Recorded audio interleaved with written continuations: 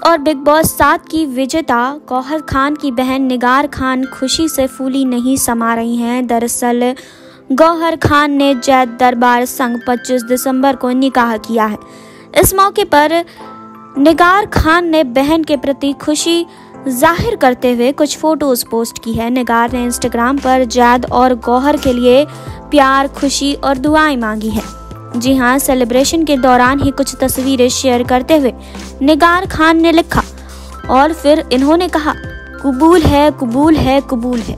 और हम सभी खुशी से झूम उठे।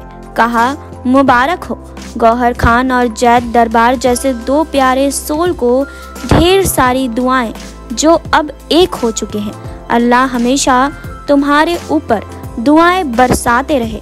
आमीन। इस पर गौहर खान ने रिएक्शन देते हुए लिखा कि निक्स थैंक यू हर चीज़ के लिए। जैसा कि जैक्स कहता है, आधी पसली सबसे बड़ी जान। तुम मेरी सब में एक जान हो। ढेर सारा प्यार तुम्हें। इसके साथ गौहर खान ने लाल रंग की हर्ट इमोजी बनाई। इसके अलावा जैद दरबार ने भी निगार खान की फ़ोटो पर कमेंट किया। उन्होंने लिखा नेक्स्ट थैंक यू हर चीज़ में तुम बेस्ट हो। अल्लाह तुम्हें हमेशा खुश रखे। इन बता दें कि गौहर खान और जैद दरबार दोनों ही ग्रैंड सेलिब्रेशन के बीच शादी के बंधन में बंधे। जी हाँ कपल ने हर सेलिब्रेशन में एक जैसे आउटफिट कैरी किए।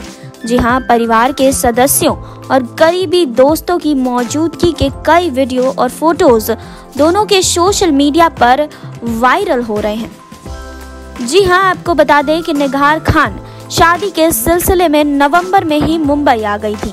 होने वाले कपल निगार खान को एयरपोर्ट पर लेने पहुँचे थे। जी हाँ निगार खान ने group selfie social media platform पर पोस्ट भी की थी। इसके साथ ही उन्होंने गौहर और जैद की शादी की तैयारियों के बारे में भी फैंस को बताया था।